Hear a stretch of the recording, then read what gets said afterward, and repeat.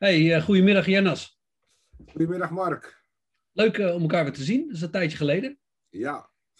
Vorige keer uh, kon ik nog bij je aan tafel zitten. Dat is in deze tijden wat lastiger. Maar goed dat we elkaar even in, het, in de virtuele wereld tegen kunnen zeker. komen. Zeker, er is genoeg te bespreken. ja, zeker. Hoe gaat het met je man? Goed, goed. Ik ben druk met wat projecten. Ik run één project voor de Amerikaanse denktank. dat gaat over Ayn Rand. Dus mm -hmm. daar ben ik mee bezig. En uh, heel veel plannen voor YouTube, YouTube-kanalen, uh, soorten video's, ideetjes, samenwerkingen. Dus daar ben ik vooral mee bezig om content te proberen te creëren op een beetje regelmatige basis. Oh, tof. Want je hebt een tijdje Jernas online gehad, toch?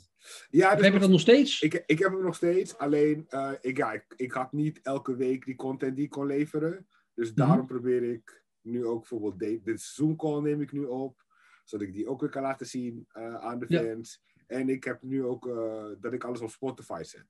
Oké, okay. dus, oh tof. Dus, uh, oh, dan ja. moet je daar nog even op zoeken. Dus ik probeer, ik probeer zo in ieder geval wat content te leveren. Want dat is de enige manier om te groeien. Ja. ja, ik moet. Dus ja, nee, ja zo is het ook. Ja, hey, in die denktank van Ayn Rand, kun je eens even vertellen, want dat is, een, is dat een politiek filosoof of econoom? Of hoe? Ik, ik ken Ayn Rand niet zo Ik ken ja. alleen de naam en ik weet dat jij er gek van bent. Ja, nee, dus Ayn Rand is een Amerikaanse filosoof. Ze is geboren in 1905, overleden in 1982. Geboren in Rusland, geëmigreerd naar Amerika in het begin twintiger jaren. Ze heeft een x aantal boeken geschreven die bestsellers zijn geworden, waaronder The Fountainhead en Atlas Shrugged. En uh, ze heeft ook heel veel non-fictie geschreven. Ze heeft haar eigen filosofie gecreëerd. Die noemde ze het objectivisme. En uh, eigenlijk heeft ze tot de dag van vandaag nog steeds invloed in Amerika op politiek uh, vlak. heel veel senatoren hebben haar werk gelezen, congresleden, politieke commentatoren. En ja. ik wil eigenlijk, mijn doel was altijd sinds ik haar filosofie heb ontdekt, zo'n 14 jaar geleden, dat ik zei, ik wil graag haar gedachtegoed in Nederland introduceren. Dus daarom ben ik toen ook uh, columns gaan schrijven in 2012. In 2013, toen ik op tv kwam met Freek de Jonge, heb ik Atlas Shrugged laten zien, haar grootste boek. En uh, ja, ik ben altijd bezig met Ayn Rand te, te, promoten. Dus eindelijk heb ik een denktank gevonden in Amerika uh, die geld beschikbaar had. En mm -hmm. ingediend. en we hebben het geld gekregen.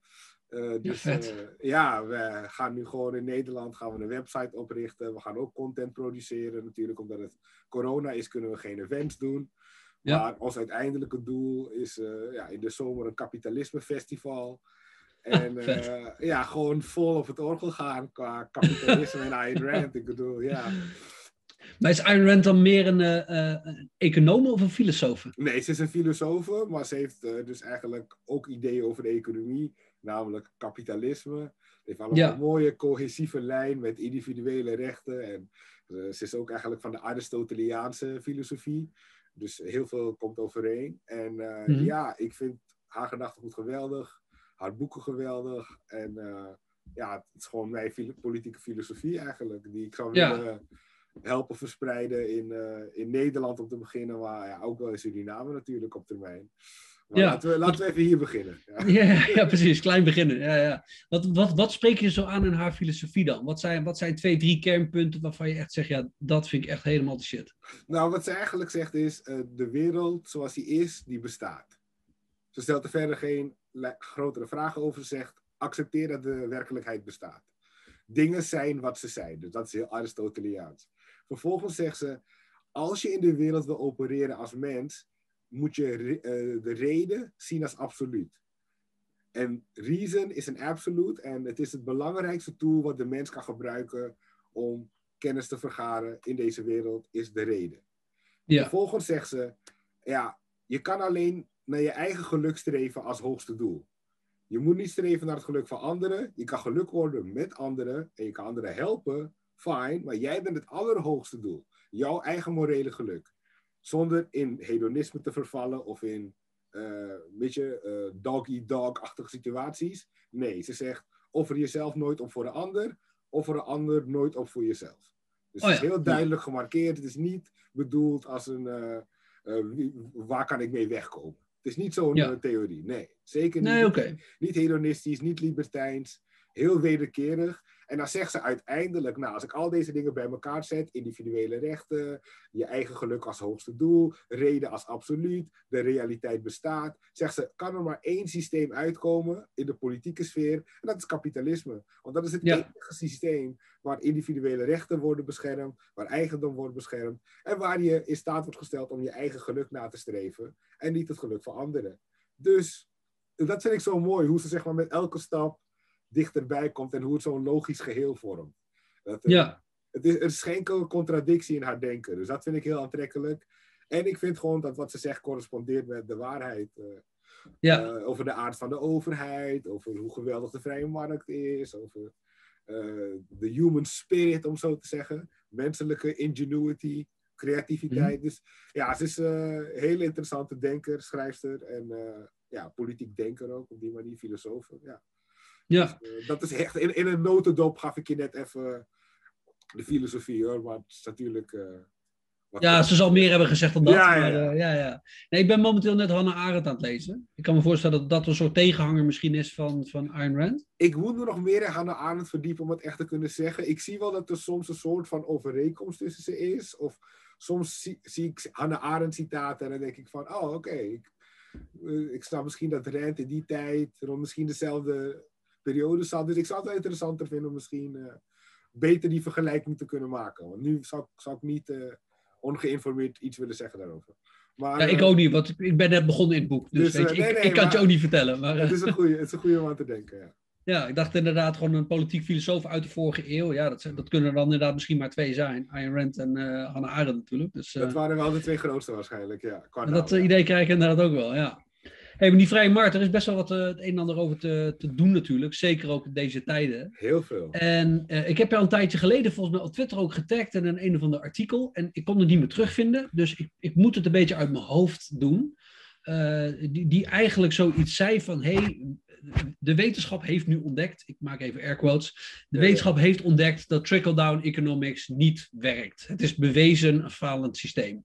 En toen dacht ik, A, ik geloof dat niet. En B, Jernas weet dat beter dan ik. Dus ik dacht, hé, hey, ik ga eens even aan Jernas vragen of hij een beetje weet wat ermee bedoeld werd. Ja, dus, dus, en, wat zijn kijk erop is. Dus, dus bij deze. Dus trickle-down economics is vooral een term uit de jaren 80, misschien eind 70.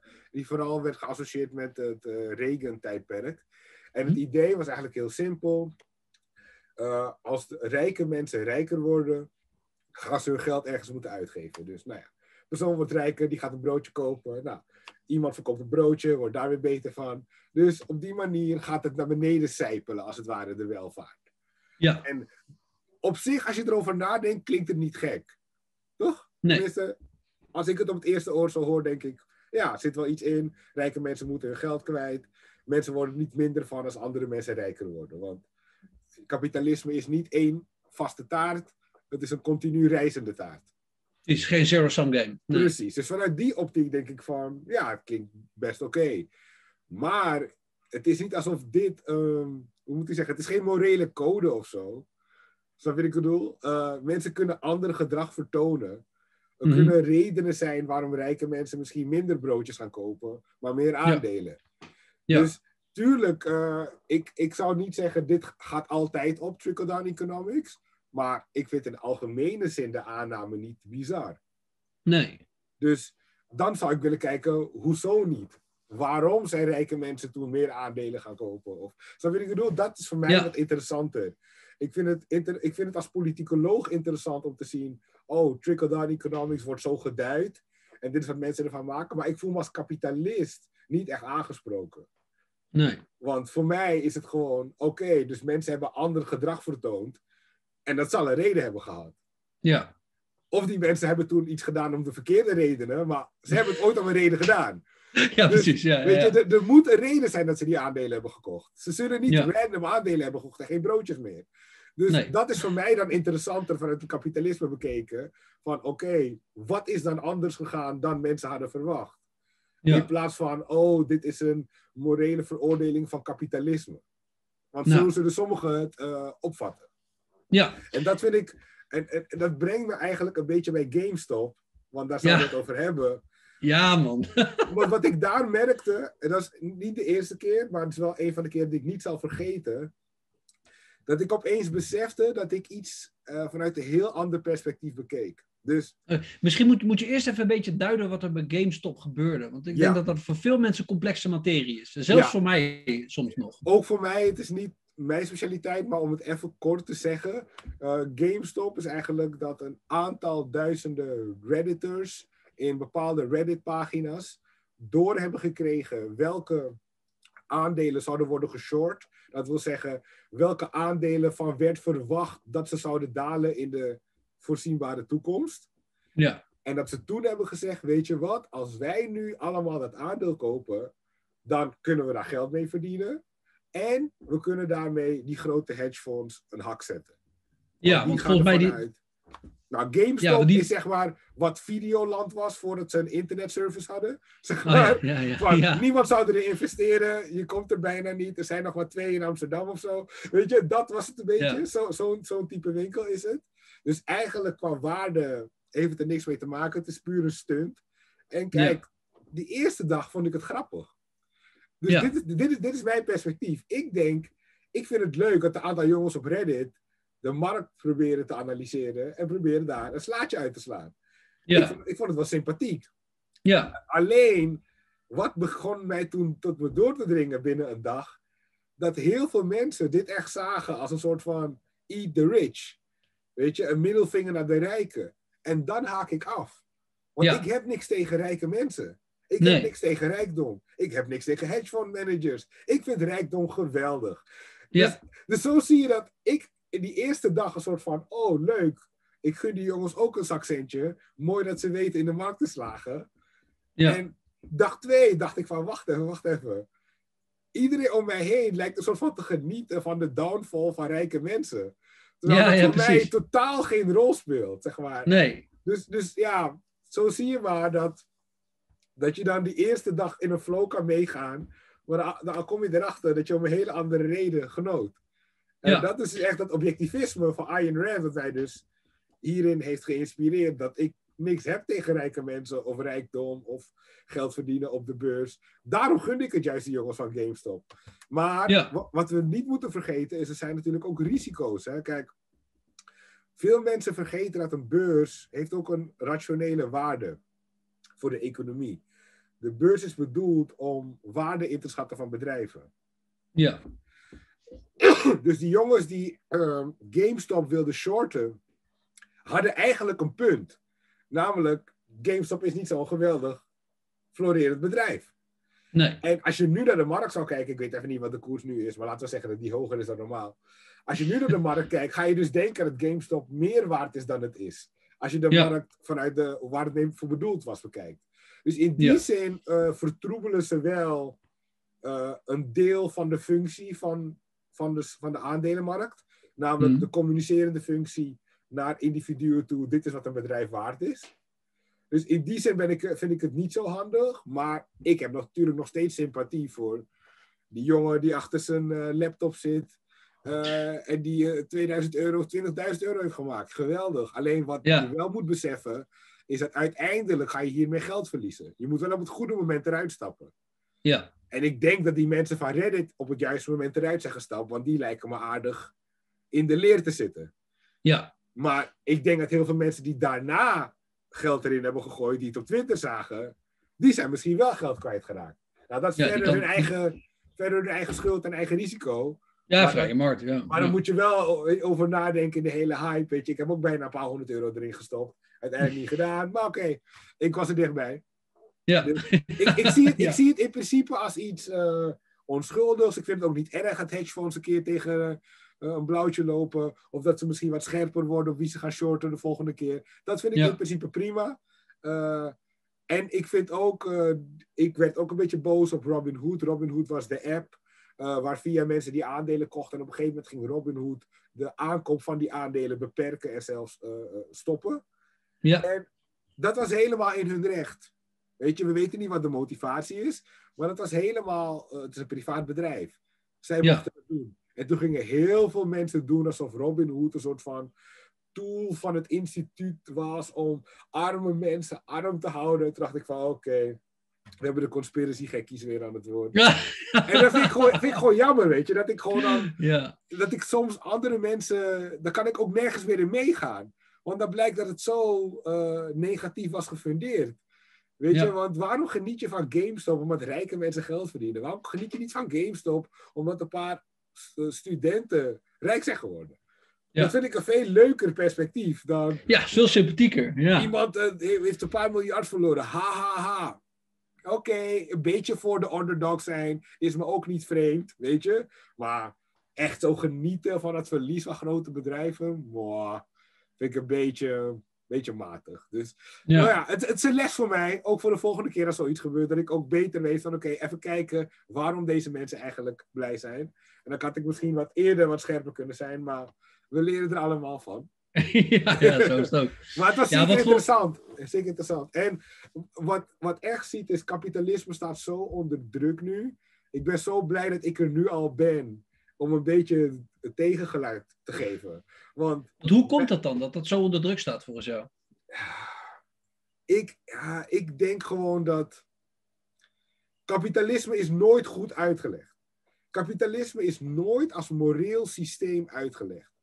En op het moment dat je iets niet als moreel systeem uitlegt, maar presenteert als een noodzakelijk kwaad in het, in het beste geval. En een soort van kwaadaardig systeem waar we niet omheen kunnen in het meest slechte geval. Ja, kan je dan verbaasd zijn dat mensen niet denken dat kapitalisme moreel is, als dit de manier is hoe je dat ze presenteert? En ja, daar zie je gewoon de zwakheid in. Ik weet zeker dat als een kapitalisme, weet ik veel, laten we zeggen vanaf de Koude Oorlogstijd, hadden gepresenteerd aan onze kinderen als moreel systeem. En we hadden dat heel goed uitgelegd waarom eigendomsrecht moreel is. Dan zouden we nu een veel sterkere reactie kunnen geven op kritiek op kapitalisme. Ja. Want nu, je ziet het, de VVD zou kapitalisme moeten verdedigen. Nou, met zulke vrienden heb je geen vijanden nodig. snap je? Ja. Want, maar ik snap de VVD ook, want zij weten ook, niemand beschouwt kapitalisme als moreel systeem. Dus Waarom zouden wij onze vingers eraan gaan branden? Wij kunnen ook gewoon zeggen van, oh, de tijden zijn veranderd en uh, marktwerking is niet meer ons enige motief. Omdat zij, zij zien dat, dat er geen ideologische verdediging is van kapitalisme. Want zij hebben die zelf nooit geleverd. Dus ja, dan is ook de window nu vrij om kapitalisme af te fakkelen als VVD. Ja, en waarin, zie, je dat, waarin nou. zie je dat dan terugkomen bij de VVD? Oké, eh, ze willen kinderdagverblijf, uh, kinderopvang gratis maken. Ze willen ja. minimumloon verhogen nu. Ze buigen gewoon mee naar links nu. Ze voelen gewoon aan, nou ja, als we een beetje cultureel rechts doen, dan houden we wel de boot af. Maar economisch gaan we gewoon een beetje mee naar links. Want dat schijnt nu te zijn wat mensen willen. Dus de VVD morft gewoon in een iets linkere partij. En het verbaast me niet als over vijf jaar, als er net de andere wind waait, de VVD gewoon gaat zeggen: Oh, we zijn helemaal voor marktwerking. Want het kan ze toch niks schelen. Het gaat er gewoon om regeren. Het gaat zo om regeren, laten we eerlijk zijn. Dus dat, dat, dat, dat cynische, dat is alleen maar mogelijk omdat we nooit hebben geleerd dat kapitalisme een moreel systeem is en dat het moreel superieur, superieur is. Nu hebben we toch altijd het idee, en je hoort het nog zo vaak terug, zelfs van hele rechtse mensen zullen dingen zeggen als communisme is op papier een goed idee. Ah. Nee, zelfs Ben Shapiro, een van de beste denkers van deze tijd als het gaat om economie, zegt dat hij in zijn eigen huis een communist is. Nee, Ben, dat is niet waar. Zeg dat niet. Zeg dat nou niet. Oh, dat vind ik opvallend. Dat heb ik hem nog nooit horen zeggen. Ja, hij bedoelt, dat ga ik even opzoeken. Hij bedoelt in de zin van... Ja, als mijn dochter iets wil... In, in, mijn, in mijn huis zijn we communistisch onderling. Omdat we alles delen. Ja, dat is natuurlijk heel slordig gebruik van de term communistisch. Maar dan kan je zien... Maar dan zie je dus dat dat idee dat kapitalisme, dat, dat socialisme een soort van nobel doel nastreefde, maar dat het enkel is gefaald door een gebrekkige mens. Dus vaak krijgen mhm. wij de schuld. Of door een soort van mismatch tussen theorie en praktijk. Dat het gewoon was van ja, helaas werkte het niet. Ze hadden, ze hadden een goed idee, maar uiteindelijk bleek toch dat wij mensen niet perfect zijn. Dus wij, dat, nee, nee. Socialisme is compleet kwaadaardig. Vanaf elk moment. En het ging in tegen de menselijke aard. En het is goed dat de menselijke aard zich niet kan plooien naar socialisme. Dat is een goed ding, zeg maar. Dus ja, dat punt, weet je, dat wordt veel te weinig gemaakt. Maar je ziet het ook, hè. Kijk, types die zichzelf liberaal noemen, hè.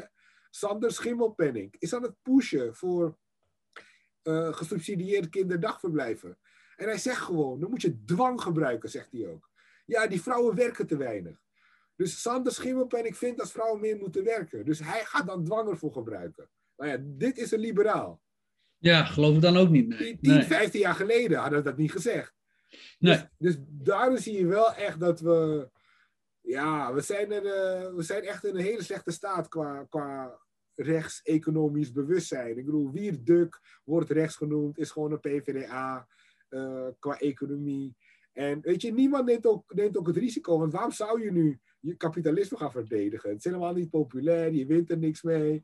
Er is verder niet echt een, een prijs of zo mee te behalen. Hè? Ik bedoel, je hebt een enkele columnist, uh, misschien een Marianne Zwagerman, dat die af en toe iets zal zeggen van mensen moeten niet zo zeiken, want ze kunnen gewoon op de markt of zo, weet je? Maar mm -hmm. dat is het wel een beetje.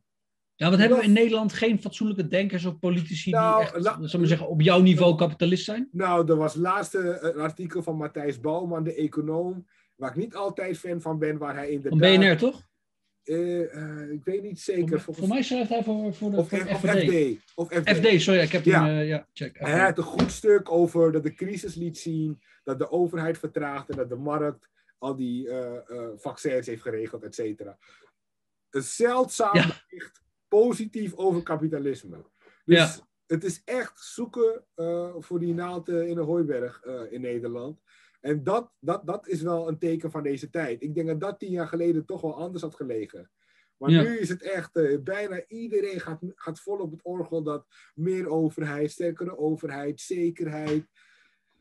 Ja, ik snap het, het is een pandemie, dus het zal niet hebben geholpen. Maar ik vind juist dat deze pandemie duidelijk maakt dat we minder overheid nodig hebben. Kom op mensen, hoe vaak ja. moet dit systeem falen? Toeslagenaffaire, verrot tot op het bot. Ja, echt hè? Va vaccin, strategie. Elk gebied, elk ding wat ze doen gaat bijna mis. Ja. Hoe, hoe kan jouw conclusie na het afgelopen jaar zijn? Weet je wat we echt nodig hebben? Meer overheid. Ja, dat verbaast, mij, in dat verbaast mij inderdaad ook altijd. Ja. Heel ja. veel mensen trekken die conclusie. Verbazingwekkend. Of EU. Terwijl, weet je, die, die, die Britten die stappen eruit en die kunnen gewoon veel eerder beginnen te prikken. Die zitten geloof ik al op, wat is het, 10, 12, 15 procent van de bevolking is al gevaccineerd. Hartstikke prima. Ja, en hier wachten we er blijkbaar drie maanden mee, omdat de eerste EU het moet goedkeuren. Ja, en prompt lopen we achter. Ja, vind je het gek? Dus, dus, Israël, Israël heeft al meer dan de helft van de bevolking gevaccineerd. Doe normaal. Dus, laat me het zo zeggen. In een, in een betere tijd, in een betere tijd, waarin we weet ik veel een paar krantenredacties hadden en een paar YouTube-kanalen die allemaal pro-kapitalisme waren. En een type als Wierduk zou uitgesproken kapitalistisch zijn. In zo'n tijd zouden ze prachtige stukken kunnen schrijven tijdens deze pandemie. Over dat dit aantoont dat kapitalisme veel efficiënter is, veel beter, veel moreler, veel uh, praktischer.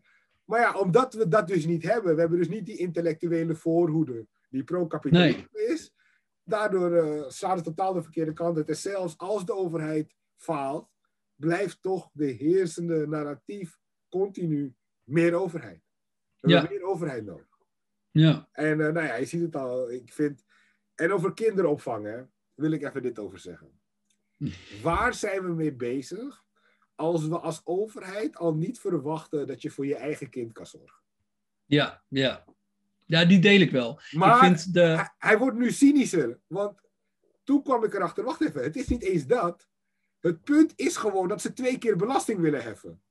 Ja. Het gaat hun niet eens erom of ze denken dat we voor onze kinderen kunnen zorgen. Het kan ze niet schelen. Ze, nee. willen, gewoon dat, ze willen gewoon belasting heffen. Ga werken met z'n tweeën. Nee, niet één. Allebei. Ja. Hoezo? Hoezo is de overheid een soort van bully geworden die gezinnen gaat vertellen hoe ze zich moeten organiseren? Ja. Ja, wat ik, heel, wat ik heel stuitend vond rondom de sluiting van die basisscholen, waar we nu natuurlijk nog steeds in zitten, ja. is, is uh, uh, kijk, de, het is ongetwijfeld zo dat bepaalde kinderen daar last van hebben. Er zullen ja. ongetwijfeld kinderen zijn die niet in een veilige omgeving opgroeien en voor wie school een hele aangename afwisseling is van of een boze moeder of vader ja, of wat dan ook. Weet je, dat heb je ongetwijfeld. Maar het narratief nu is een beetje, de basisschool is de enige plek waar een kind veilig is van zijn of haar ouders. En ik denk, wat de fuck is dit dan? ik, ik, die uitzonderingen geloof ik nogmaals prima. Maar dat er nu eigenlijk gewoon wordt gesteld dat ouders per definitie hun kinderen niet op kunnen voeden. En dat, dat, dat daar dus een rol voor de staat indirect is weggelegd. Ja, dat vind ik echt stuitend. Maar ook, maar ik bedoel, en dat nu dus die, die hele incentive van we willen dat beide ouders gaan werken. Ja, ik, ik vind niet dat, dat het aan de overheid is om dat te moeten willen. Nee. Ik bedoel, Eens. de overheid kan zeggen, jullie moeten voor je kinderen zorgen. Want weet ik veel, als je je kinderen overlast laat plegen, dan mag de overheid tegen je zeggen. Maar dat de overheid jou gaat vertellen dat ze willen dat je, met, dat je allebei gaat werken en het liefst fulltime, zodat ze dan volledig je belasting op je kunnen heffen. Bizar, ja. bizar, echt. Ja, ja, Hoe is dit een ding geworden überhaupt? Hoe is dit een geaccepteerd gedachtegoed geworden dat de overheid hier een mening over heeft? Zo nou ja, het ene... een mening erover te hebben. Nee, maar wat, wat ik me ergens zou kunnen voorstellen, is dat ze zeggen, joh, weet je, de zorg wordt veel duurder. En wat we kunnen doen, we kunnen de mensen die werken veel zwaarder belasten. Of zorgen dat er meer mensen zijn die we kunnen belasten. Dan hoeven we de belasting niet te verhogen, maar dan kunnen we het gewoon heffen op meer mensen. Dus erg denk ik, als je gewoon zeg maar zeggen, een, een land een beetje ziet als een bedrijf, ja. Uh, dan dit, dit, dit, is gewoon je omzet vergroten. Niet je marges verruimen, maar je omzet vergroten. Ja, alleen ik, Om uiteindelijk iets te kunnen bekostigen. Maar ik vind, je hebt hier te maken met dingen die je niet, uh, die je niet kan beprijzen. Namelijk opvoeding. Nee, daar, klopt. Is, daar, daar is geen kwantificeerbaar bedrag aan te hangen. Dus je kan het wel zien als winst, maar we zullen nooit weten of het winst is. Ik denk dat het verlies is. Ik denk het ook. Ja, maar oké, okay, we kunnen fout zijn, maar de overheid kan ook fout zijn. Dus dat wil ik bedoelen. Het is gewoon iets waar we allemaal niet weten hoe het precies zit. Jij en ik kunnen praten over als een kind één ouder thuis heeft, is de kans dat die later gewelddadig wordt kleiner of zo. Weet je, allemaal dat soort dingen zou je kunnen inbrengen of onderzoeken kunnen aantonen dat een ouder thuis een bepaalde stabiliteit geeft. Ja. In ieder geval, ik vind het een fijn idee voor mijn eventuele gezin, maar iedereen is daar vrij in. Dat Mhm. is onze vrijheid, toch? Om zelf ons gezin samen Ja. te stellen en in te richten. Ja. Dat voor iedere Nederlander. Dus please, laat het gewoon daarbij houden. Weet je? En ga gewoon niet mensen lopen boeien dat ze allebei moeten werken. Of dat een vrouw niet part-time mag werken. Als ik het kan veroorloven, zou mijn vrouw niet hoeven te werken van mij. Of Nee. misschien mogen werken als ze wil. Maar ik, als, als het aan mij zou liggen, als ik in staat ben genoeg geld te verdienen. Want dat is de grote vraag. Als ik het me kan veroorloven, dan zou ik zeggen: blijf thuis als je wil. Ja, ik heb het samen met Elsa, mijn eigen vrouw, ook zoveel Ja. mogelijk gedaan. Ze, ze is nu net toevallig deze week begonnen met twee dagen lesgeven. Ze geeft Ja. eh, eh, filosofie, levensbeschouwing en eh, godsdienstles op een, op een school. Twee dagen in de week. Nou, we hebben twee kinderen thuis. Ik vind het fantastisch dat zij gewoon veel tijd heeft samen met de kinderen. Ik zelf overigens ook. Ik heb ook één dag in de week dat ik vrij ben. Eh, ja, om dit soort gesprekken te voeren en verder lekker een potje te schaken met mijn kinderen. Ja. Ja, ik vind het heel waardevol. En ik heb best wel veel mensen meegemaakt in mijn omgeving die inderdaad, waar, waar beide ouders fulltime werken. Ja. En, en dat geld redelijk tegen de plinten klotst, zeg maar. Weet je wel, dure huizen, twee auto's, dure vakanties, alles. Maar die wil gewoon de hele dag in de stress zitten, omdat ze de kinderen 's ochtends naar de BSO moeten brengen, s'avonds weer moeten ophalen en hun eigen kinderen amper zien opgroeien. Ja, ik vind het, ik vind Ja, het niet normaal. Niet ik, vind het, Nee. ik vind het niet normaal dat twee ouders zo vaak hun kind niet zien. Ik snap dat één het minder kan zien dan de ander. En het hangt van hun leeftijd af natuurlijk. Als kinderen ouder worden, kan die vrouw meer werken. Of de man, prima, Ja. weet je. Dat is logisch. Maar Ja, mijn ouders zouden inmiddels prima fulltime baan kunnen hebben. Wel- ja. Dus eh, ik weet niet, man. Ik vind dit wel een aparte trend. Als in, ik kan me niet zo herinneren dat het zo expliciet werd gebracht vroeger. Of tien Nee. jaar geleden. Dat echt zo heel duidelijk werd gezegd van... Ja, we willen echt vooral dat, dat twee mensen werken. Zodat ze dan die belastingen en dan, weet je... Lekker efficiënt. Ja, ik vind gewoon dat is niet de rol van de overheid. Eh, Zelfs als je het ermee eens bent. Zelfs als je vindt Ja. dat ouders allebei moeten werken. Oké, doe het lekker in je eigen gezin. Maar Ja. leg het alsjeblieft op de rest van de samenleving. En ja, ik. eh, dus dat vond ik wel een frappante ontwikkeling. eh. en ook wel een ontwikkeling waar niet echt. Ik hoor hier niet echt discussie over. Ik hoor dus wel een beetje discussie over kunnen we het betalen of zo. Of, of weet je. Mhm. Maar niet echt deze fundamentele discussie van wie is de overheid om dit te vinden überhaupt. Even Ja. los van of we het goed of slecht vinden. Ja, je mist even de, de, de morele Ja. discussie meer dan de economische, zeg. Ja, gewoon echt de morele van waarom zeggen ze dit? Of waarom denken zij dat zij dit over ons mogen zeggen? Of wie zijn Ja. zij om dergelijk beleid te maken dat zo diep in ons persoonlijke leven gaat, weet je? Want kijk, even, wat, even los van wat we vinden van de opvoeding van de kinderen. Hoe zit het moreel tegenover de kinderlozen in de maatschappij? Kijk, de kinderlozen die betalen al op een manier voor kinderen. Namelijk, ze moeten bijdragen aan onderwijs. En misschien zien ze het belang ervan in. Misschien zien ze van, ja, er moeten toch kinderen bestaan, dus fijn, ik wil ze niet. Maar goed dat ze er zijn. Oké, kan ook. Maar om tot het punt te gaan dat gewoon de opvang van alle kinderen wordt gesubsidieerd. En dat je daar ook nog eens aan mee moet dragen. Terwijl het gewoon een volledig vrije keuze was om een kind te krijgen. Nou, dat vind ik toch ook wel heel veel vragen van de solidariteit, laat me het zo zeggen. Ja, en, wat, en wat ik daarin ook best wel problematisch vind, is dat uiteindelijk, de, uh, dat, omdat iedereen eraan meebetaalt, uh, betaalt uiteindelijk ook de, de, een, een, huishouden waar bijvoorbeeld alleen de vader een wat eenvoudige baan heeft, ja. die moet ook belasting betalen, zodat de buren in de dure Vinex-wijk allebei fulltime kunnen werken om vervolgens heel veel geld te verdienen. Ja, je, ja. Dat klopt gewoon niet. Dat, dat je gewoon zelf meebetaalt aan, aan de rijkdom van een ander. Dat, daar gaat het gewoon ergens volgens mij niet goed. Ja, en ik vind gewoon als we de lijn niet kunnen trekken bij je eigen kinderen, dan is er geen lijn meer. Snap je? Zeg maar, als, als de overheid mag, uh, mag denken dat wij niet voor onze kinderen kunnen zorgen, dan, dan, dan zouden ze overal over moeten gaan. Dan zou de overheid ook kunnen praten over ons dieet. Ja. Ik bedoel, er is geen grens meer. Als kinderen al niet meer heilig zijn, als die structuur al, al niet meer van jou is, mm. ja, waar, waar eindigt het dan? Ja. En ik, ik vraag me af of mensen dat wel doorhebben. En dat hele machinale idee van al die kinderen in die, in die kinderopvangverblijven, ik krijg er gewoon best wel een naar gevoel bij. En dan zo'n ja. overheid, en dan gaat die overheid ook uh, naschoolse opvang doen. En inderdaad, dat punt wat je net maakte van de, de, de school als veilige omgeving. Er wordt echt gedaan alsof uh, ja, de overheid ouders moet helpen in de opvoeding echt. Ja. Alsof en ouders ook, en, incapabel zijn en gevaarlijk misschien zelfs. Ja, nee, en het was er niet Jesse Klaver die laatst ook al pleitte voor schoollunch of schoolavondeten of ontbijt? Ja, of, uh... ja kijk, kijk ik, vind ja. er, ik vind er, het is tot daar toe dat je wil zeggen, zouden we niet een budget kunnen maken voor kinderen die echt hongerig zijn? Ja, Kijk, dat, dat is prima. Ik ben niet van overheidsingrijpen, maar ik probeer mijn mind even wat neutraler te maken. Ja, ja. Dus oké, okay. ik kan me voorstellen dat je zegt, 10.000 kinderen in Nederland lijden honger uh, in de lunch. Kunnen we daar iets voor doen? Ja. Kijk, dat zou een oprecht idee van een links iemand kunnen zijn. Ik kan er tegen zijn om, om, om economische redenen of whatever, maar ik zou het mm-hmm. van kunnen respecteren op zichzelf. Ja. Maar om de stap te maken naar, we moeten alle lunches gaan subsidiëren voor iedereen. denk altijd, wow, het gaat jou niet om de mensen helpen die behoevend zijn. Jij wil gewoon een soort van power move maken. Want ja. door die lunch heb je weer invloed op het dieet van alle kinderen. En dan ga je ze natuurlijk vegan dingen aansmeren. Weet je, ik begin aan dingen te zien van, dit gaat om veel meer. Ja, het gaat ja, niet om die paar duizend kinderen die oprecht honger hebben te helpen. Want daar zou ik het minst problemen mee hebben van alle plannen. het gaat om het grotere idee. Ja. En datzelfde geldt voor kinderopvang. Als het plan was, er zijn sommige ouders die het niet kunnen betalen om hun kinderen te laten opvangen, bla bla bla, kunnen we die misschien helpen met een regeling? Misschien tot daar aan toe. Ja, als je hulp nodig hebt, moet je erom vragen.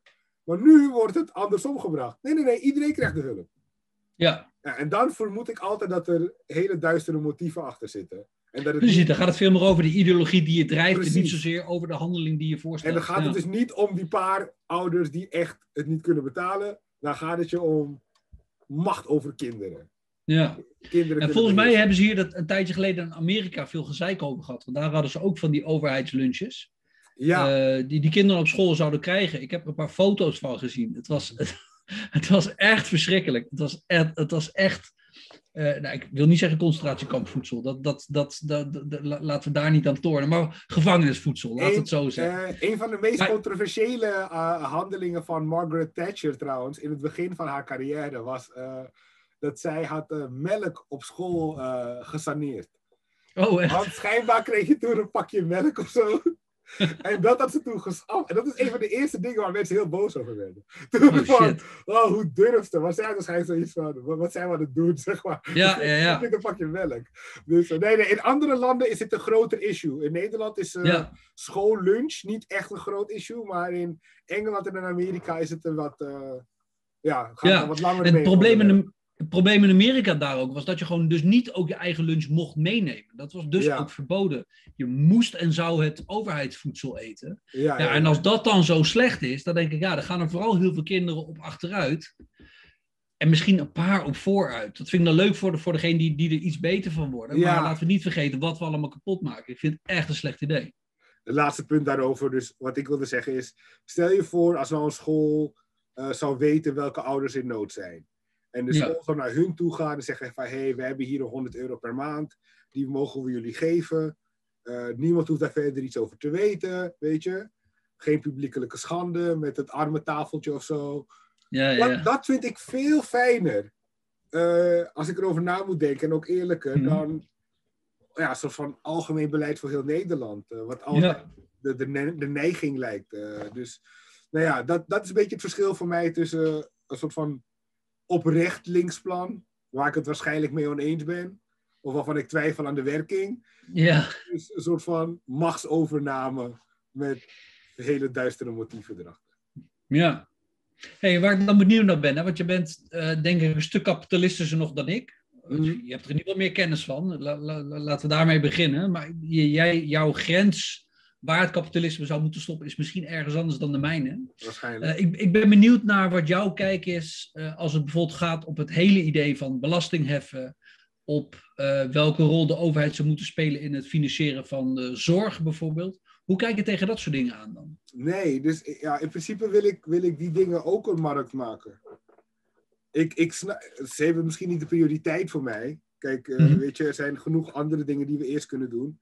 Maar als je me vraagt uiteindelijk, als Ja. we jouw koers zouden volgen, eh, ja, dan zou, dan zou de zorg ook volledig een markt zijn. Ja. In, in mijn ogen. Maar iemand die daar eh, tegen zou zijn, en het, het zou voor mij trouwens ook een oprechte vraag zijn. Stel je krijgt een tumor en je moet een chemobehandeling en die kost je, weet ik veel, 80.000 euro of zo. Wat, wat doe je met zo'n gegeven? Heb jij zoiets van, hey, de markt eh, zorgt ook voor eh, verzekeringen en kan daarmee alsnog een oplossing bieden? Of Ja, zeg, je- ben je dus- meer van het kamp, hey, jouw probleem? Of hoe- Kijk, de markt, en- dit is wat, wat de overheid zo aantrekkelijk maakt, want de overheid geeft eh, fake garanties en fake zekerheid, maar de markt geeft geen zekerheid.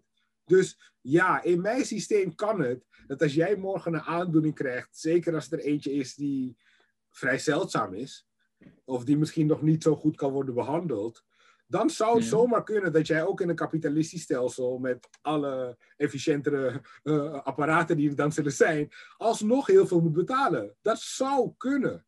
Ja. Alleen mijn vraag aan jou is: heb jij liever een nieuw ontdekte ziekte in een kapitalistisch stelsel of in een socialistisch stelsel? Ja, nee, dat, dan alsnog dat eerste. Ja. Ja, da, da, alsnog dat eerste. Je weet dat, zelfs je weet, ook al is het 80.000, de kans dat een crowdfunding, een dokter, een universiteit op mij wil experimenteren en me wil onderzoeken. Gewoon, je weet dat die kans dat dat soort fenomenen er zullen bestaan, Mhm. groter zal zijn. Je kan nog steeds sterven. Het is nog steeds Ja. mogelijk dat je, dat je pech hebt gehad in net een variant van kanker die nog niet goed is bestudeerd. Of, tuurlijk, het zou kunnen. Maar ik vind niet dat je politiek moet baseren op noodsituaties. Nee, Dus nee daar heb je een punt. het is niet dat ik niet wil reageren op de noodsituatie, dat ik geen idee heb van hoe het kapitalisme zou reageren. Ik vind gewoon niet dat dit de manier is om, om, om tot een finaal oordeel te komen, laat me het zo zeggen. Dus Ja. ik denk dat kapitalisme beter in staat is om crisis, zo'n crisis aan te pakken. Ja. Ik, denk, ik denk dat uh, alleen wat het verschil gaat zijn met kapitalisme bijvoorbeeld, als het gaat om goede doelen. Ja, wat wel kan gebeuren, is dat je geen goede doelen zal hebben voor sommige drugsverslaafden. Misschien. Misschien dat alle goede doelen die drugsverslaafden willen helpen, alleen drugsverslaafden willen zonder strafblad. Ik noem even wat, hè. Het Mhm. zou kunnen.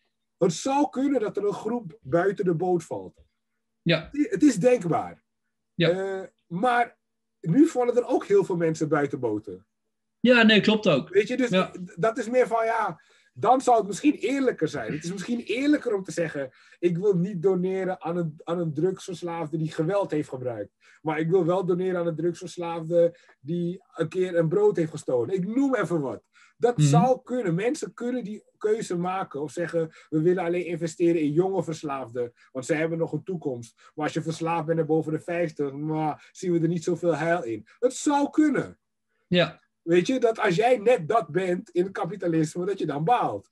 En dat Ja. je dan misschien nu net beter uitkomt. Maar ja. nogmaals, ik wil niet een, een samenleving baseren op inderdaad drugsverslaafden of tumor, tumoren die Nee, niet klopt. voorkomen. Maar Weet je, en, en, en andersom werkt het inderdaad ook, weet je. Als je zegt van, joh, ik wil dat er mensen geholpen worden die eh, financieel moeilijk zitten en weet ik wat allemaal. We hebben met die eh, kindertoeslagaffaire natuurlijk gezien dat een overheid dus ook niet in staat is om zomaar mensen te helpen. Ook die mensen zouden beter af zijn misschien in een veel kapitalistisch systeem, waar ze niet toeslagen kregen die ze moeten terugbetalen aan een overheid die absolute macht over ze heeft en weet ik wat allemaal. Dus ook daarin denk ik, ja joh, eh, hoe minder hoe beter natuurlijk. dus, dus ja, als het, gaat om, meer of minder overheid? als het gaat om Ja. zorg, ja, uiteindelijk wil ik het als een, als een volledige markt zien. Het heeft gewoon nu even misschien niet de prioriteit. En ik snap dat het voor mensen mentaal, emotioneel, soort van lastig is om, om zorg als een product te zien. Eh, ja, ik denk dat het ook gewoon te maken heeft met hoe we praten over kapitalisme. Weet je, als je Ja. iets niet goed promoot, moet je niet verbazen dat mensen daar een verkeerd idee over hebben.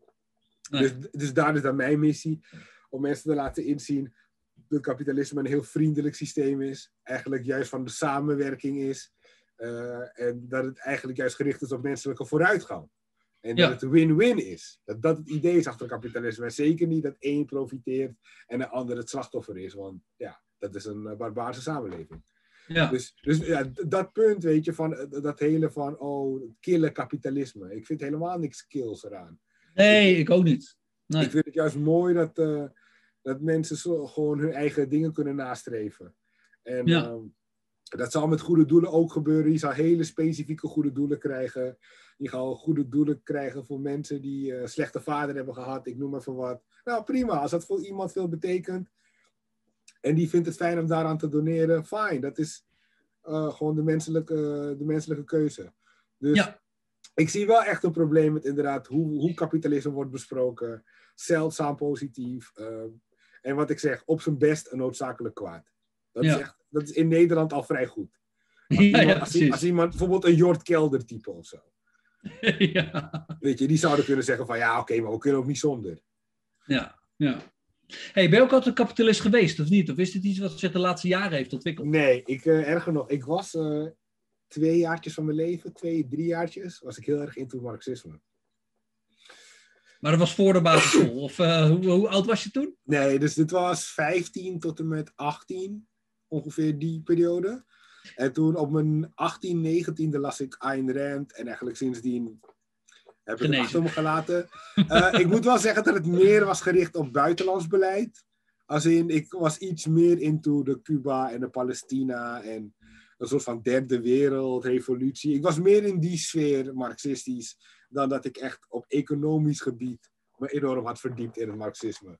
Dus dat is Ja. het enige wat ik kan zeggen in mijn verdediging. Maar ja, dat rest goed weg, jongen. voor de rest heb ik geen verdediging voor het buitenlands beleid. Maar ik vond, ik, vond, ik vond iets heel romantisch aan de Cubaanse revolutie. Eigenlijk nog steeds, hè. zal ik eerlijk zijn. Ik bedoel, 80 man die een dictator afzetten. Dat, eigenlijk heeft het iets heel romantisch. Ik bedoel, verschrikkelijk wat ze daarna ermee hebben gedaan. Maar ik, ik, ik snap nog steeds dat ik, dat ik daar toen toe werd aangetrokken. Ook omdat het Zuid-Amerika was. Ik kom uit Suriname. Ik heb iets met Zuid-Amerika, met Caribisch gebied. Dus Ja, ja, Daardoor logisch. raakt het een extra snaar, kan je zeggen, eh, in die tijd. Maar eh, daar ben ik inmiddels al eh, bijna 15 jaar overheen. Dus, Ja, nou, gelukkig maar. dus, maar nee, ik had inderdaad een tijd dat ik vooral qua buitenlands beleid echt meer richting Marxisme ging en anti-Amerika ook was. Ja. ja, maar dat is aardig voorbij dus inmiddels. Ja, nee, dat Ja, is, ja, ja. Ligt, ver, ligt ver achter ons. Ja. Hey, en hoe zie je eh, jouw plannen voor komend jaar en wat, wat zie je voor Nederland voor komende, komende periode op Ja. stapel staan? Ik heb deze komende verkiezingen mentaal afgeschreven. Oké, wat dan? Nou, gewoon als in, ik verwacht er helemaal niks van. En het kan eigenlijk alleen maar slechter worden of status quo. Hm. Eh, ehm, ik, ik richt me op de volgende verkiezing. En eh, ik ben ook van plan om daar mee te gaan doen. Ik weet nog niet Oh. in welke vorm. Ik weet niet voor welke partij.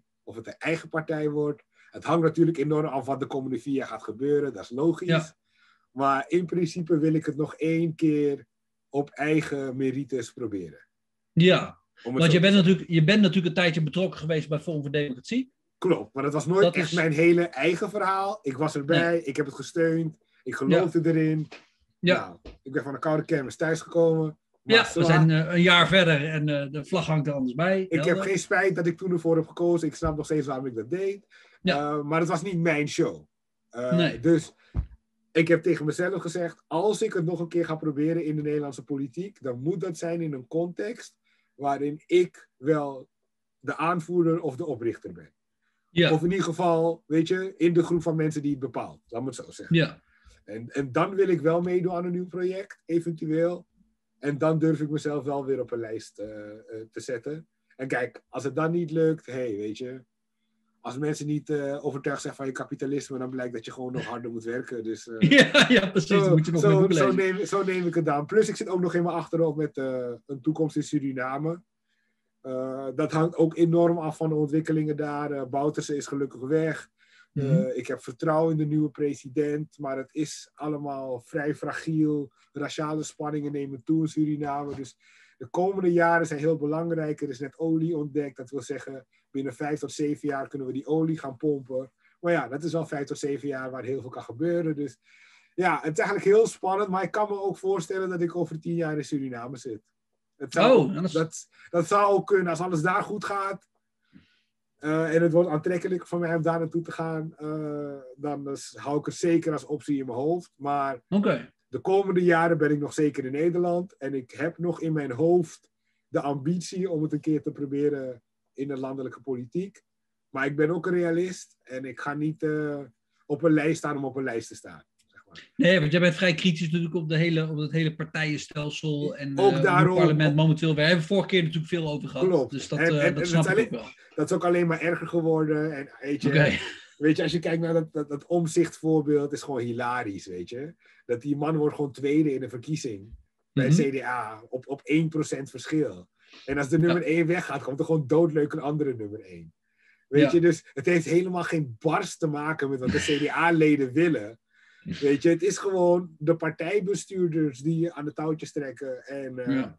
zo'n omzicht, weet je, ik heb het in een van mijn video's gezegd. In ieder ander land zou hij zijn eigen partij hebben opgericht. Echt. Ja, In Ja. ieder ander land had Pieter Omtzigt nu 17 zetels in de peilingen.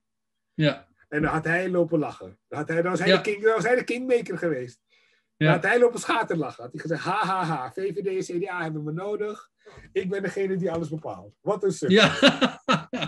Weet je? En hij zou linkse Ja. stemmen krijgen, hij zou middenstemmen krijgen. Maar dus, dat, is Ja, heel, hij- dat, is heel, dat zegt iets over Nederland, hè? Dit zegt iets over de entrepreneurial spirit van Nederland. En ook over hoe onze politiek zo soft is hier. In een harder land had Omzicht nu op 15 zetels gestaan. ja. En eh, ja, dat, dat is ons gemis als Nederland. Dat zullen we nooit krijgen, want we hebben partijpolitiek. En die is zo extreem machtig. Zit in alle haarvaten. Bepaalt of Pieter Omtzigt ooit burgemeester gaat worden. Bepaalt of Pieter Omtzigt ooit commissaris van de Koning gaat worden. Ja, dat, dat zijn gewoon machtsinstituten die zo diep reiken. Je moet echt van goede huizen komen. Wil je daar weerstand tegen bieden. Zeker Mhm. als je al zo ver bent gekomen. Als hij Ja. is gekomen. ja. En gaat dat nog een keer op de schop, denk je? Gaat dat ooit nog veranderen? Dat we echt een republiek worden, bijvoorbeeld? Nou ja, je ziet wel kleine bewegingen. En dan heb ik het over een partij als Splinter, die verzet zich tegen fractiediscipline. Code Oranje, die op hun manier probeert om het een soort van iets losser te maken dan een echte standaardpartij. Dus Mhm. ja, je ziet wel on the fringes wat, wat, wat bewegingen. En ik denk dat zo'n omzicht debakel misschien mensen wat bewuster maakt. Maar ook de partijpolitiek bij FVD was natuurlijk een drama. Uiteindelijk ging het daar allemaal over wie mag een lijstje maken. Weet je, daar ging Ja. het uiteindelijk over. Het ging niet echt over inhoud meer. Nee. Eh, dus ja, als je dat allemaal ziet. We zien wel dat die partijpolitiek steeds belangrijker begint te worden. Terwijl als je aan de Nederlander vraagt of hij geeft om politieke partijen, waarschijnlijk niet. Of hij een diepe emotie heeft bij de VVD. Echt Ik niet. begaan is met de CDA. Ik denk de meeste niet. Tuurlijk, de politieke freaks, die 2%, of die 5%, die wel. Maar Ja. de echte maatschappij geeft echt eh, helemaal niks om een politieke partij. Nee. Dus ja, die discrepantie tussen het aantal leden van partijen, de macht van bestuurders en de macht die ze hebben op de lijst. Ik vind, hè, gooi de lijsten open voor niet-partijen. Waarom Ja. moet het een partij zijn? Waarom mag het geen denktank zijn? Waarom mag Greenpeace niet op de lijst gaan staan? Van mij mag Greenpeace een lijst inleveren hoor. Ja. Als Greenpeace erin slaagt om iemand genoeg stemmen te laten halen, dan ben je gewoon eh, een Kamerlid en dan mag jij zeggen namens Greenpeace. I don't mind. Waarom moet je een politieke partij zijn om, om te kunnen vertegenwoordigen in de Tweede Kamer? Je bent een individu. Als jij graag je ergens bij wil horen, als jij graag een stichting bij wil hebben om, om, om, om je te steunen of financieel, fine. Als jij iets wil hebben dat jou steunt, het mag van mij. Maar waarom moet het een politieke partij zijn? Laat de vakbond lekker op de lijst gaan staan dan. Ja. Prima. Laat er maar vijf Ja. mensen van de vakbond in de Tweede Kamer gaan. I don't care. Ja. Als dat hun belang is, als dat hun manier is om zichzelf te promoten. Maar nee, het is helemaal op slot in dit land. ja. En ja, Hier gaat jouw scriptie ook over, toch? Klopt. Ten dele. Ja, ja, nou eigenlijk grotendeels over de, het gebrek aan onafhankelijkheid van individuele Kamerleden. En het ding is, zoveel mensen hebben dit punt al bevestigd. Ik bedoel, Meerte Hilkens, oud-CDA'ers, oud-ministers. eh, zeg, de ene zegt dualisme bestaat niet, dualisme is een grap, fractiedruk is heel normaal. We weten het eigenlijk al. Het is niet eens Ja. meer een geheim. Het is gewoon puur dat de mensen die er iets aan kunnen doen, er niks aan gaan doen, want dit is hun cash cow. Zij Ja. hebben zichzelf 17 miljoen euro uitgekeerd ieder jaar. Waarom zou je dat stoppen? Geen Ja, vanuit hun, toch? vanuit hun gezien hebben ze geen goede reden. Nee, nee. ik bedoel, behalve als het electoraal gevaarlijk wordt. Waarom zou je? Dus dan is het dus aan mij en een paar mensen, Geert de Waling en zo, om proberen dit geluid zo sterk te maken dat het de electorale dreiging wordt. En pas dan gaan partijen bewegen. En dat is Ja. helaas hoe het werkt in Nederland. Ja. Maar eh, ja, dat zijn wel in ieder geval de regels van het spel. Maar ja, ik zou zo graag zien dat we dat hele systeem op de schop gooien. Hoe die Kamerleden verkiezen. En eh, zeker commissaris van de koningin en dat burgemeesters benoemen. Verschrikkelijk. Wat ik ook echt heel erg vind is eh, dat, dat, dat steden hoppen. Hè? Dus zo'n Sharon Dijksma, die eh, gaat nu naar Utrecht. Ja. Die was eerst in Amsterdam wethouder, maar volgens mij komt ze uit Groningen of zo. Wat is het idee Ja. dat, dat, dat, dat een stad besturen helemaal los staat van de stad? Vind ik een heel raar idee. Dus Ja. je bent wethouder van Amsterdam, maar dan is het idee dat je een band met Amsterdam zou hebben, dat bestaat daar niet meer. Laatst heeft Amsterdam ook een wethouder uit Utrecht gehaald. Kijk, ik zeg niet dat er geen specifieke gevallen denkbaar zijn, waar echt iemand een expertise heeft of iets zo enorm goed heeft gedaan, dat het echt is, wauw, als we hem kunnen krijgen, het zou kunnen. Ja. Maar dat, dat zou echt uitzonderingen moeten zijn, denk ik. Het zou niet Ja. de norm zijn. Dat het is van, wij kunnen in Amsterdam niemand vinden die infrastructuur kan runnen. Wij kunnen in Amsterdam niemand vinden die een portefeuille kan bewaken. Dat is zou de uitzondering moeten zijn, mocht, je dat, mocht dat zo zijn. Maar nu lijkt het meer een soort van trend, een soort van carousel van wethouders. Oh, dan doe ik een paar, ma- dan doe ik een paar jaar Amsterdam, dan doe ik een paar jaar dit, dan ga ik een paar jaar dat en dan word ik uiteindelijk burgemeester in Utrecht. Wat? Ik vind het heel raar. Maar ik, ik snap gewoon niet waarom mensen hier ook geen bezwaar tegen hebben.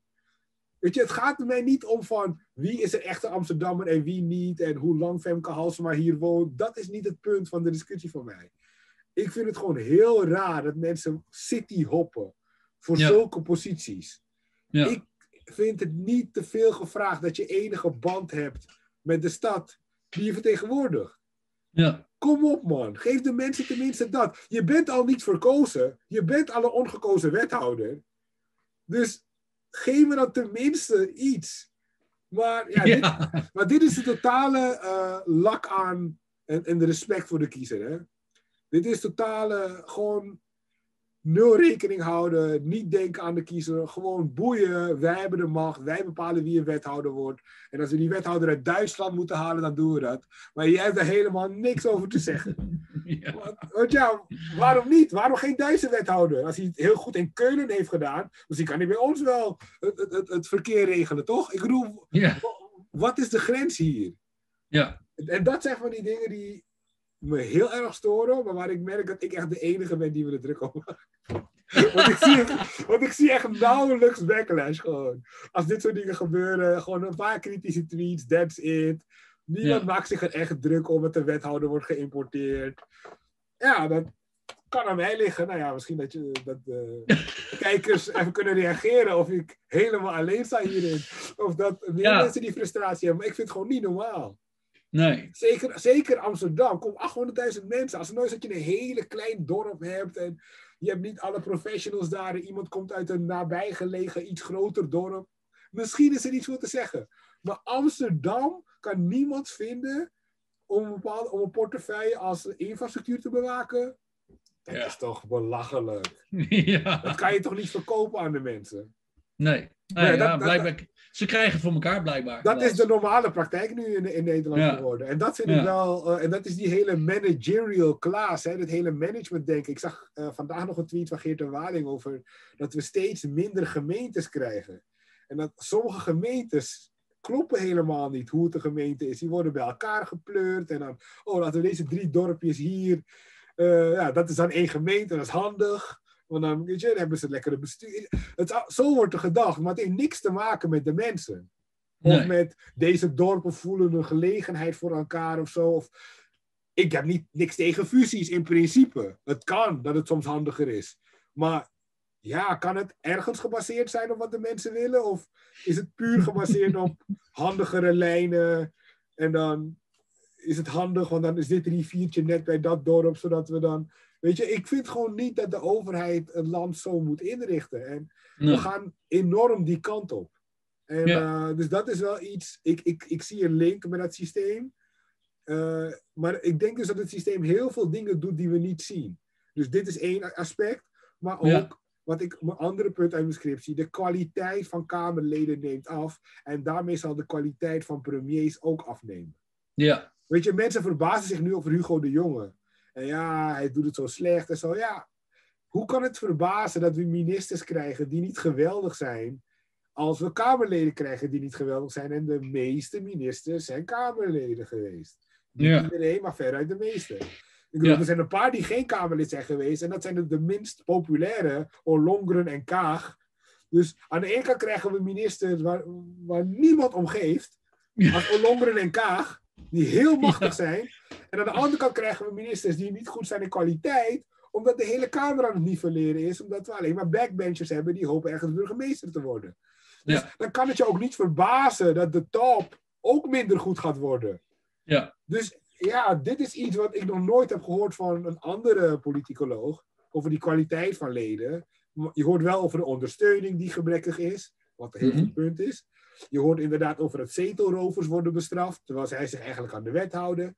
Ja. Heel veel rare dingen gebeuren daar in die Kamer, maar ik denk het meest onbesproken punt is gebrek aan kwaliteit. Daling aan kwaliteit van Kamerleden is een logisch gevolg van hoe we ons systeem hebben ingericht. Ja. Het gaat alleen maar erger worden de komende jaren. En we gaan alleen maar van die Rutte-types krijgen. Dat wil zeggen, we gaan van die managers krijgen die op de winkel kunnen passen. Ja. En we gaan continu dat soort types krijgen. En daarmee kom je niet vooruit. Nee.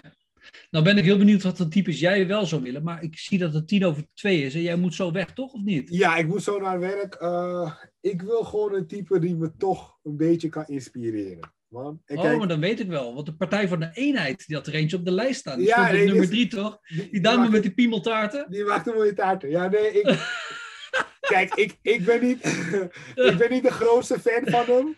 Maar even qua uitstraling dan. En niet per se qua beleid, hoewel ik hem wel heel sterk vond na die aanslagen laatst in Frankrijk. Mhm. Macron straalt tenminste wat uit. Hij is echt niet mijn ideale politicus.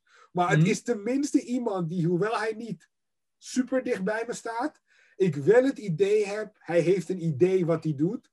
Hij heeft een visie waar ik hem op kan beoordelen. Mhm. En ik kan hem na vier jaar soort van beoordelen op zijn visie. En niet op zijn manager kwaliteit. ja. Maar een ander probleem, wat niet aan Rutte ligt, is: ik vind ook dat de premier meer macht moet krijgen. Want ik denk ook dat een premier met weinig macht, en dat kennen we nu, een premier is een veredelde aanvoerder, dat leidt ook tot managertypes. Snap je? Want die is dan minder uitgesproken. Die kan minder zijn eigen geluid laten horen. Die moet, die moet een beetje schipperen. Die moet continu de boel bij elkaar houden. Dus ik denk ook dat het systeem vraagt bijna om een managertype, omdat je als premier niet een harde hand hebt.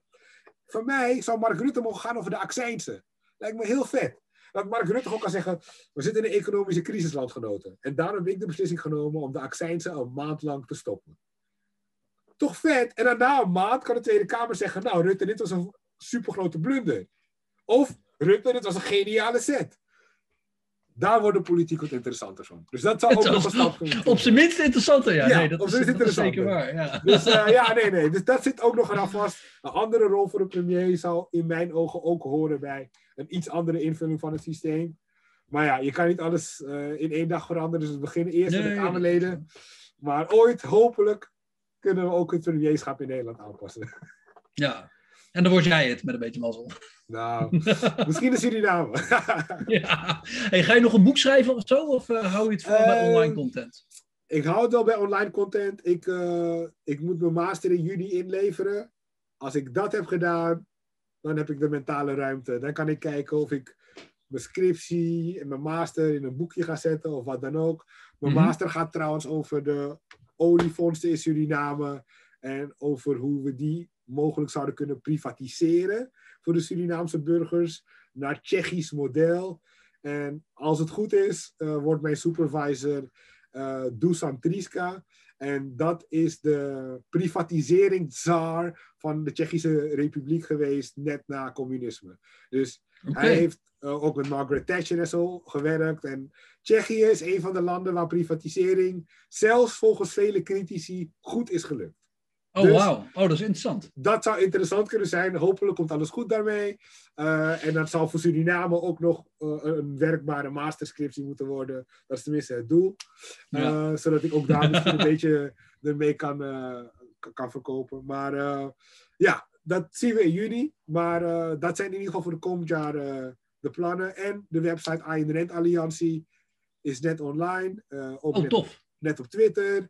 Dus ga daarmee ook beginnen. Uh, dit videootje komt online en ik wil meerdere gesprekken voeren. Ik heb vorige week Sargon of Akkad geïnterviewd. Oh, wow, vet. Carl, Carl Benjamin. Uh, dus uh, ik ga ook op zoek naar grotere internationale mensen die ook al op YouTube wat bekender zijn. Uh, om te proberen die ook in de show te krijgen. Dus dat is een beetje... Leuk man. nice. Maanden mijn ideeën. Dus ja, je kan wel een paar van de namen raden die ik in mijn hoofd heb. Maar ja, we, gaan, ja, ja, ja. we gaan kijken of het lukt. We, hebben in ieder geval we blijven met interesse volgen. Leuk man. Gek. Hey, bedankt voor je tijd, man. Ik vond het leuk om hierover door te praten. Uh, yes. Uh, gaan we volgen op Twitter. Nou ja, jou dan. Uh, de Alliantie. En yes. met een beetje mazzel lezen. Ehm, en we spreken elkaar een andere keer weer. bedankt Zeker voor je tijd. Ik vond het super. Yes, doei doei. Hey, zet hem op, man. Yo.